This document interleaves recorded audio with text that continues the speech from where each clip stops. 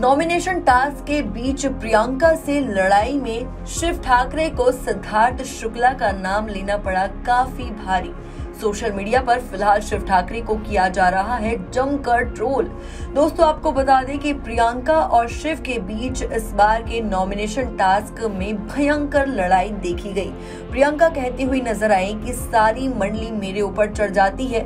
सारा घर मेरे खिलाफ रहता है, मैं फिर भी अकेली लड़ती हूँ। जिसके बाद शिव ठाकरे ने कहा कि सिद्धार्थ शुक्ला का डायलॉग कॉपी मत करो।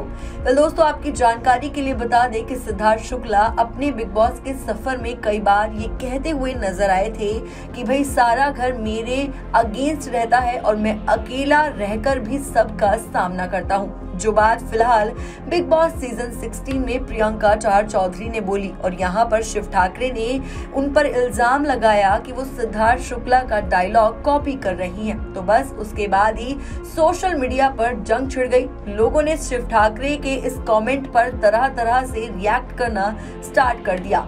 कुछ लोगों का कहना है कि शिव ठाकरे को अपनी लड़ाई में ऐसे किसी का नाम नहीं लाना चाहिए। तो चलिए, हम आपको बताते हैं कि आखिर यूज़र्स ने इस ट्रैक को किस तरह से देखा है और किस तरह से इस पर रिएक्ट किया है।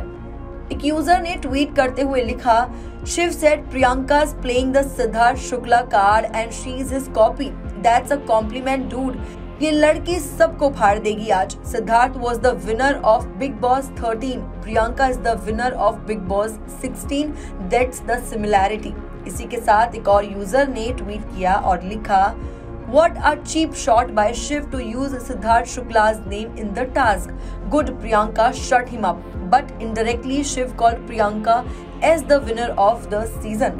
इसी के साथ एक और यूज़र ने कमेंट करते हुए लिखा That's why Priyanka is the queen of hearts and winner of Big Boss 16 as well, ruling diva Priyanka.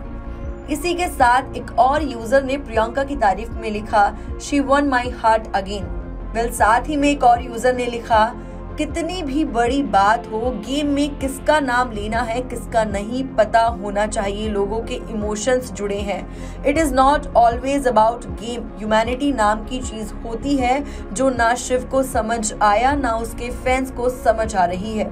इसके साथ ही एक और यूज़र ने ट्वीट करते हुए लिखा without confirming Shiv created narratives पहला narrative Archana pass shayari to mock him दूसरा टीना एट शालीन चिकन, तीसरा प्रियंका इज़ प्लेइंग लड़की वाला कार्ड, एंड चौथा Priyanka Chahar Choudhary copying Sidharth Shukla.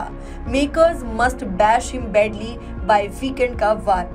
Well दोस्तों, फ़िलहाल इन सारे ट्वीट से एक बात तो साफ़ है कि सिद्धार्थ शुक्ला से लोगों के कितने इमोशंस जुड़े हैं। हर कोई सिद्धार्थ शुक्ला के नाम को यहाँ डिफेंड कर रहा है। सभी का कहना है कि शिव को इस तरह की लड़ाई में सिद्धार्थ शुक्ला का नाम नहीं लेना चाहिए। तो वहीं कुछ लोग ये भी कह रहे हैं कि सिद्धार्थ शुक्ला से कंपेयर करना प्रियंका के लिए तो बड़प्पन की बात है।